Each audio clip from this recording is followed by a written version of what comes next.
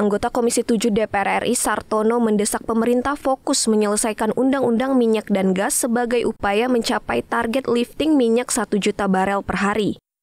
Saat ini tren produksi migas nasional terus mengalami penurunan. Sartono berpendapat mandeknya pembahasan Undang-Undang Migas berpengaruh besar terhadap tren penurunan lifting minyak yang saat ini dialami pemerintah. Padahal Undang-Undang Migas akan memberikan kepastian hukum sehingga target lifting minyak 1 juta barel per hari dapat segera diselenggarakan. Menurutnya, hal tersebut juga akan berdampak terhadap peningkatan pendapatan negara di sektor minyak dan gas.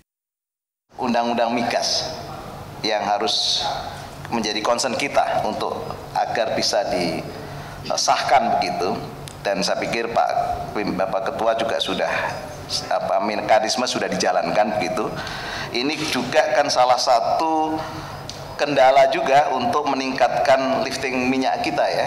Karena bicara tentang kepastian hukum bicara juga perihal lamanya proses perizinan bicara juga tentang lintas kementerian kadang-kadang eh, apa proyek prioritas tapi realitasnya jelimet juga ya. Jadi tidak padu begitu harapan kita di dalam revisi undang-undang migas ini betul-betul memberikan suatu payung hukum. Lebih lanjut, Sartono mengatakan, pembahasan RUU Migas adalah proses panjang yang tidak hanya membebankan SKK Migas, melainkan tugas bersama antara pemerintah dan DPR RI. Tim Liputan TVR Parlemen melaporkan.